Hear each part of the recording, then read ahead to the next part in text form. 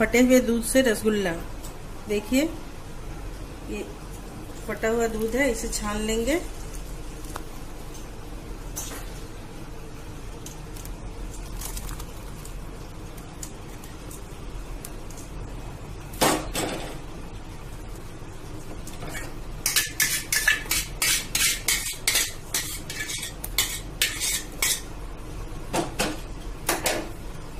ऐसे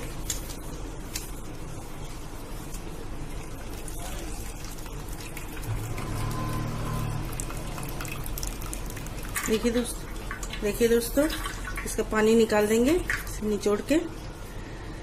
और इसे हमें दो घंटा, तीन घंटा के लिए नहीं रखना है। इसे से निचोड़ के निकाल लेंगे।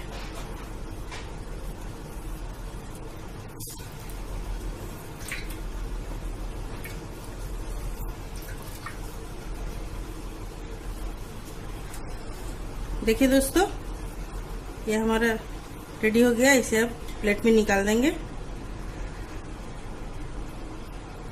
और इसको 10-15 मिनट तक आटे के जैसे गूंदना है, मसलना है, तब तक हम लोग चाशनी बना लेते हैं।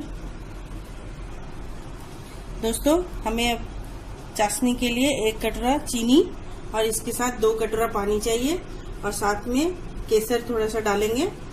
आप ना, नहीं चाहते तो ना भी डालें। इसका कलर बहुत अच्छा आता है, इसलिए मैं डालूँगी। कढ़ाई, गैस जला लिए दोस्तों। अब इसमें एक कप चीनी और दो कप पानी डालेंगे।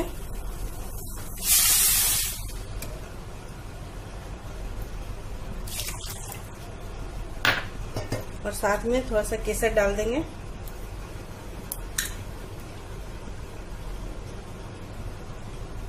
और इसको चलाते रहे।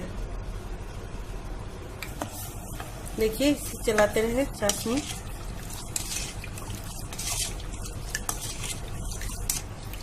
इसे धीमी आँच करके रख देंगे दोस्तों और इसको चलाते भी रहेंगे बीच बीच में। तब तक हमारा डो रसगुल्ला के लिए डो तैयारी करें, करेंगे। इसमें डेढ़ चम्मच मैदा डालेंगे दोस्तों। और इसका डो बनाएँगे।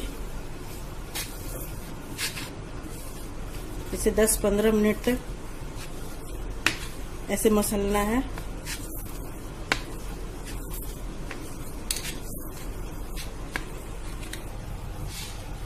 देखिए दोस्तों इस चाशनी को बीच बीच में चलाते रहेंगे।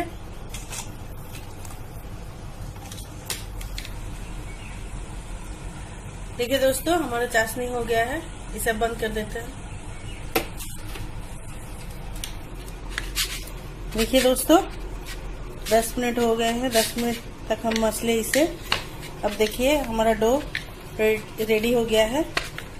थाली में नहीं चिपक रहा है, इसका मतलब डो हो गया है। अब इसका छोटा छोटा गोला बना लेंगे। रसगुल्ले बनाएँगे। देखिए। थाली में बिल्कुल नहीं चिपका है। अब इसके रसगुल्ले बना लेंगे।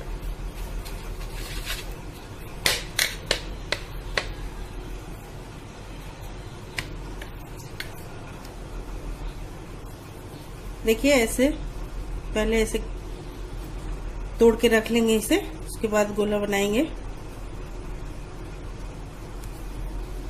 ऐसे।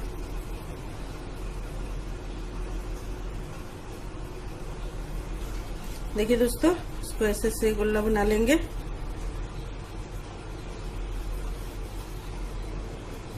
देखिए, मेरा गोला फट नहीं रहा है। देखिए, इसका गोला बना रहे हैं। ये बिल्कुल नहीं फटा है। इसका मतलब ये अच्छा हो गया है। ऐसे पूरा सब बना लेंगे। देखिए दोस्तों, सब बना लिए हम लोग, ऐसे गोल गोल। अब इसे चाशनी में डालेंगे। देखिए जो दोस्तों, हमारे चाशनी में उबाल आ चुका है। अब इसमें एक एक करके डाल देंगे। और 10 मिनट तक ऐसे पकाएँगे इसे ढककर। 10 मिनट के बाद फिर इसे पलट देंगे पलटने के बाद और 10 मिनट पकाएँगे।